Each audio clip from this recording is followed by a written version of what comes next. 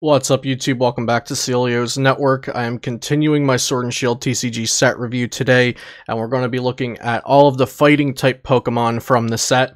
Before we jump into that, quick shout out to PotownStore.com, your best place to get PTCGO codes. They've got the Meowth VMAX codes and the Alolan Sandslash codes in stock. Also, Sword and Shield codes in stock right now. Uh, pretty much anything you could want for PTCGO, and use code Celio 5% off there.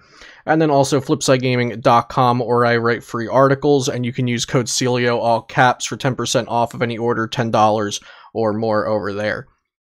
So, like I said, fighting type Pokemon today from Sword and Shield. Before we get into that, just a little bit of information on how I'm looking at these cards. So, I will be rating the cards based on their viability in the Ultra Prism through Sword and Shield standard format.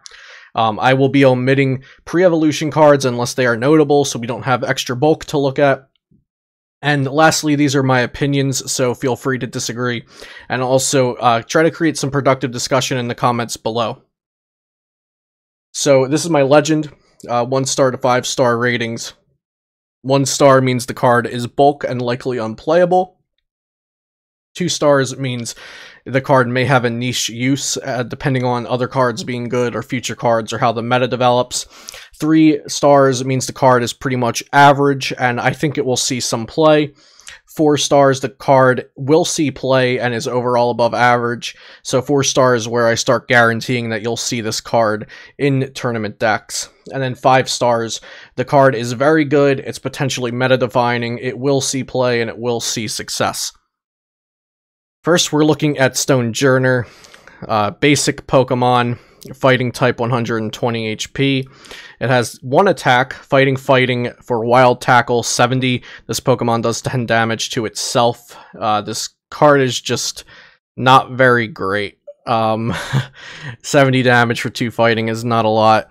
Uh, it's kind of just outclassed by uh, Buzzwole from Forbidden Light, which does uh, 30 for one fighting, but then you have like things like Beast Energy and Diancie, and Sledgehammer also has its extra effect on its uh, specific turn when your opponent's at four prizes. Um, so having only one attack, two energy for 70, and it does 10 damage to itself, it's pretty low HP. Two retreat cost, uh, just going to get one star for me, probably just bulk. Next, we've got a Mudsdale. Uh, 150 HP, stage 1. One attack, double impact for fighting, fighting, fighting. It does 120 times the number of heads, and you flip two coins. Uh, this card is complete trash, just one star, it's bulk. Next, we've got Dugtrio, 90 HP, stage 1. Has one attack, Mud Bomb. Fighting energy does 60. Uh, just way too vanilla, outclassed by other things, just one star. Dugtrio is going to be bulk. So we've got through some bulk here, and now we're looking at our first fighting type V card. Uh, Regirock V, 220 HP, basic Pokemon fighting, of course. And it has two attacks. The first one, Fighting Colorless, does 30 damage plus 10 more for each damage counter on this Pokemon. And then Rock Tackle, Fighting Fighting Colorless, does 190 and 30 damage to itself. So I thought about Regirock for a while because it can look rather underwhelming. Um, the first attack can't put early pressure on unless your opponent has already hit into it. But uh, so 220 HP is rather high. We have the uh, the charm or some sort of tool that raises HP by 30 coming out in this set, so it can have 250. Uh, so it, it will take a hit from a lot of things, which means Raging Hammer can then do a lot of damage. Um, and we also have to keep in mind that fighting type Pokemon have Karate Belt. So Rock Tackle, if you're behind on prizes, can actually be used for just 2 energy. And it does 190, then plus Diancie buff, that's 210, plus Martial Arts Dojo, uh, even more damage, since it's not an Ultra Beast. Uh, so I do think the card has some potential. It's uh, probably not going to have like any decks built solely around it, uh, or any uh, highly viable decks built solely around this card. Uh, but I do think it could be used in a fighting type archetype. It's it's solid. It's pretty average. Um, and I do think it could see some play. It's not like awful. It's not amazing. So three stars for Regirock V. Next, we've got Sandaconda. Unfortunately, we're going back to the one star bulk. Uh, 130 HP, stage 1. And this card, let me just preface, I think this card is very interesting and is close to being good. So, Sandbags, uh, this Pokemon takes 30 less damage from attacks. And then Power Press, uh, Fighting Fighting for 60. Um, if this Pokemon has one fighting energy more than this attack's cost attached to it, this attack does 70 more damage. So, let's say we have two fighting energy and a karate belt and we're behind on prizes. So that would um, fulfill the energy requirement for the extra damage. So with two fighting energy and a karate belt it's doing 130 and the pokemon itself has 130 hp uh, essentially it needs to be hit with 160 to be one shot because of sandbags um, so let's say best case scenario, we need to be hit with 160 to be one shot, and with two energy and a karate belt, we're doing 130 with a Diancie on board 150, and we have to be behind on prizes. Um, so 190 with the martial arts dojo in play as well for two energy on a stage one, two energy and a karate belt on a stage one, and we're behind on prizes and the stage one can realistically just get one shot next turn. Um, I think that's a lot to put into this card, uh, just to do 190 circumstantially for two basic energy. So two two energy attachments in a, um, and it's not even an archetype where we can excel energy onto the card like easily with something like Metal Saucer or something like Welder.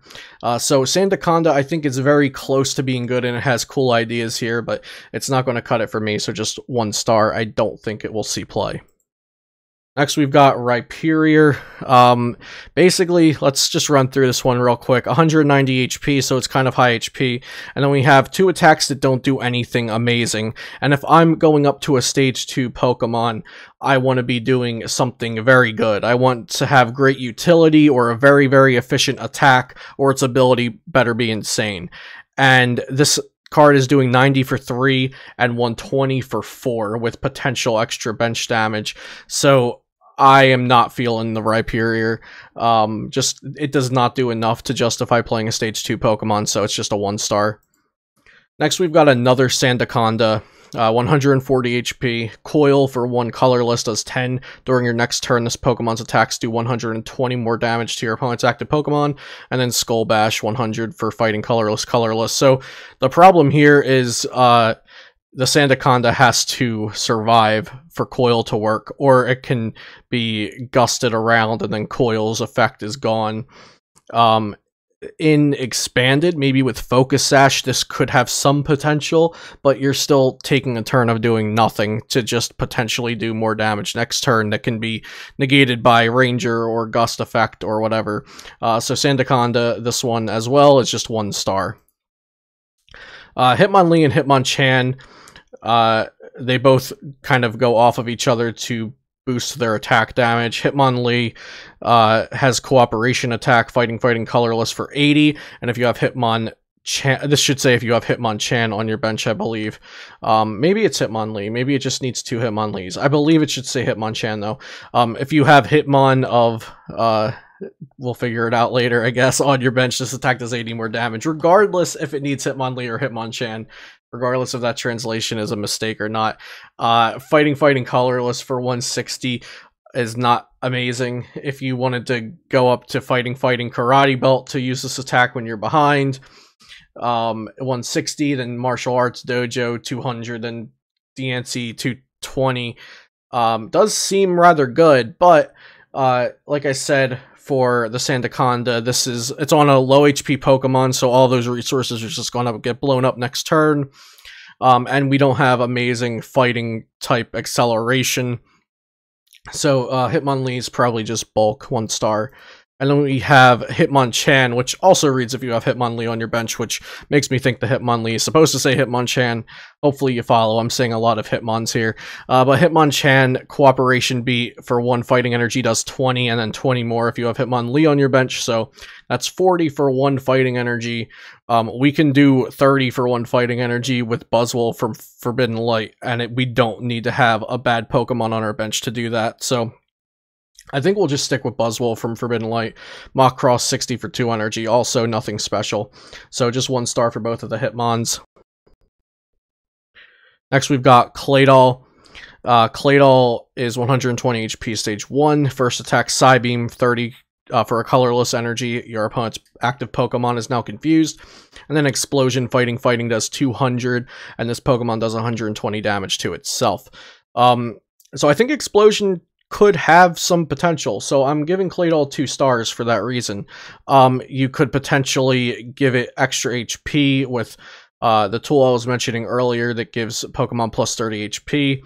Um, you could attach Shedinja so you, you don't award a prize card. You could want to go behind on prizes and then send up a doll when it uh, blows itself up. Because for fighting fighting or fighting karate belt, plus dojo buffing it by 40 and then Diancie buffing it by 20, you could do 260 here and just knock out your own Claydol, but you're doing 260. Uh, so I do think this Claydol has some potential, giving it two stars. Next is Stonjourner V, 220 HP basic Pokemon. Uh, guard press is actually pretty solid. Fighting energy to do 40, and then during your opponent's next turn, any damage done to this Pokemon is reduced by 20. Uh, so a nice little 40 poke in the middle, extra from martial arts and Diancie, of course, and then Mega Kick just does kind of a vanilla 150 for 3, which is very, very good if uh, you're hitting weakness, but just kind of an average attack if you're not hitting weakness. So Stonjourner V, uh, just two stars. Uh, it does have the VMAX, of course, which is why Stone Stonjourner V will be played. So Stone Stonjourner VMAX, I'm going to give three stars. Um, 330 HP, which is a huge reason for why it's playable. It just has massive HP. Uh, and then it has two attacks. So Stone Gift, attach a fighting energy from your hand to one of your Pokemon, then heal 120 from that Pokemon. And Max Rock does 200 for three. So you have a pretty decent damage output. You have an attack. You have a type with support, right? We have the Diancie. We have Martial Arts Dojo. We have Karate Belt, and then you have tanking capabilities because of its HP and because of Stone Gift. Uh, so I do think Stonjourner VMAX is pretty solid. I don't think it's like meta defining or anything, and I I'm not going to guarantee that Archetype will see success, but I do think Stonjourner VMAX will get some play. So I was kind of between rating it three or four stars, but the card isn't like anything amazing. It's just a solid card. So I'm going to give it three stars, and maybe I'll be wrong. Maybe I should have given it four, but I think three is um, a decent rating for the card. Like I said, it's not amazing, but it, it will see some play. Next is Grapploct. Uh, Grapploct. Uh, a very interesting card, just like uh, Sandaconda and just like Claydol. Uh, but unlike Sandaconda, I think this could see some play. So, um, Tough Swing's just 130 for 3, kind of a vanilla attack, but the Stage 1 Pokemon Grapploct has a very unique attack, Fighting Fighting, Octopus Grip. All of the defending Pokemon's attacks cost 2 colorless more, and it can't retreat. This effect stays on the defending Pokemon as long as this Grapploct is your active Pokemon. So if they can't gust around the Grapploct, the defending Pokemon costs two colorless more and it can't retreat. Now, I'm not exactly sure where this would be good. It's just a very, very solid effect of an attack. Maybe in something like birds, or maybe in something that you can uh, put Omastar into so then they can't use catchers to get around the Grapploct. Um, I think this is very, very solid. You could uh, pair it with like uh, energy removal or milling or whatever, but I just think this attack has some sort of niche use in the future. So two stars for Grapploct, solely because of the Octopus Grip. And last we lastly we've got a Sudowoodo, 100 HP, double draw, draw two cards, and then flail, 10 times the amount of damage counters on this Pokemon. Nothing too crazy about Sudowoodo. This guy's just getting thrown in the bulk box. So overall, these are all the fighting type Pokemon, of course, omitting the like pre-evolutions, like I mentioned in the beginning. Um, I do think Stonjourner V Max will probably see some play. We'll see. It, it, might just fall off after like the first tournament and never actually become an archetype in North America. I know it's seen some play at smaller Japanese tournaments. Uh, I think Regirock V is a solid card, but I don't see a spot for it right now. Uh, Claydol could see some single prize shenanigans, maybe even have its own deck. And then Grapploct, I'm not sure what's going to happen with that, but it's a very, very cool attack, and it should have some potential at some point in its legality. So that's it for me today. I hope you enjoyed this video. If you'd like to see more videos like this, please do subscribe to uh, get notified when I have more videos out. I'll be doing a ton of Sword and Shield content both on here and live on Twitch. Uh, like I said in the beginning, check out PotownStore.com and FlipsideGaming.com. And thanks for watching. I'll see you next time here on Celio's Network.